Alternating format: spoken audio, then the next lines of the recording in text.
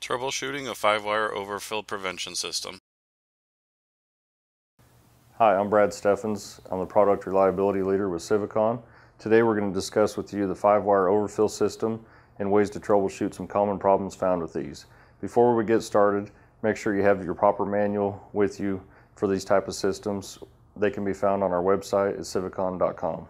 Some of the tools that we will be using today to try to troubleshoot these problems and correct them are quality pair of wire crimpers, cable stripper, wire stripper, side cutters, wrench, screwdriver, multimeter, any kind of API tester. Today we're going to be using the OPW 1397E and of course safety glasses. Notice on the system we're working with here, the 5-wire system, there's no mo onboard monitor on this like in the 2-wire.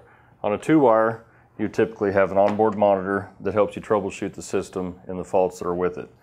On the typical 5-wire, like we're dealing with now, it only has a blue socket or the optic socket. The only way to effectively troubleshoot this is with some sort of tester, like the one we showed in previous in the film. The way that a five-wire system is wired is the red, black, and green wires are all wired in parallel. When the yellow wire reaches the number one probe housing, it is connected with the yellow wire of number one sensor. The orange wire coming out of number one sensor then hooks to the yellow wire of number two sensor. The orange of number two goes to the yellow of number three, and this continues until you hit the last compartment of the unit. The last sensor in the trailer or tank, whatever the case may be, returns back down to the socket. Okay, if you've been in a loading rack and receive a non-permit state at the rack, you'll need to go to a repair shop. When you get to the shop, you'll need to power up the system so you can troubleshoot what the issue may be. Today we'll use the OPW tester to power up the system to see what the state of it is. When the tester is connected, the green LED will be flashing if, if the trailer is showing permit. It'll flash the number of flashes that it has is in relation to the number of probes that the unit has. Now you'll see our tester in a non-permit state. The LED light is flashing twice. We broke the signal in our demonstration here between probes number two and three. So it's showing that number two sensor is the probable cause of the failure. Okay, with our truck tester hooked up, it's showing us that number two sensor is potentially the issue with our system. That's telling us the number one probe is fine. The issue could either be with a wet sensor or a wiring issue, and the wiring issue doesn't exactly have to be in, in this number two housing. Remember the wiring also goes in, it starts at the rear, goes in number four in this display here with, with that has four compartments. It'll come in number four, it'll connect to number three, and then to number two. So any one of these points could potentially be the wiring issue. In that situation, a less likely culprit would be the wiring between number one and two probes, which in that case, it would have to be the orange wire. The first step you want to do is to ensure that the probe is dry on the end of the prism. Just take a dry, clean rag, wipe it off, and see if that clears out your faults at your tester. Now, if you've determined that the probe is essentially dry and it's still showing it in a fault state, you'll need to start inspecting your wire connections. Start by removing the housing cap on the problematic probe. Be sure to check all crimp connections for being properly crimped and being free from corrosion. As you can see, these, these are free from corrosion for our demonstration. Give each connection a pull test to make sure they're crimped properly.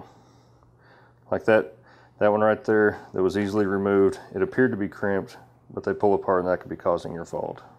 Also pay close attention to where the, the outer cabling is stripped off of each wire where it goes through the strain relief fittings. This also at each probe housing and at the socket itself. If the outer casing is improperly stripped, the inner wires can be nicked, allowing a place for moisture to get in and corrosion to form. If you verified that all connections are free of corrosion and that the crimps are properly secured, you can check the voltage at the probe that is showing the fault. Simply connect your voltmeter into the red and black wire. The reading should be anywhere between 8 and 24 volts.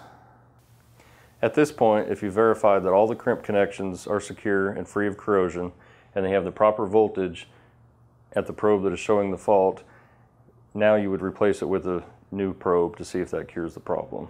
Now if you've replaced the probe in number two housing and the problem still persists, rewire in the original probe into that housing and move on to number one and install the new probe there. If that cures your problem, go ahead and reinstall the probe housings and your repairs are complete. If you've completed inspecting all the probe housing connections and replaced the probe and you continue to have issues, you'll now move down to the socket. To inspect the socket housing, remove the faceplate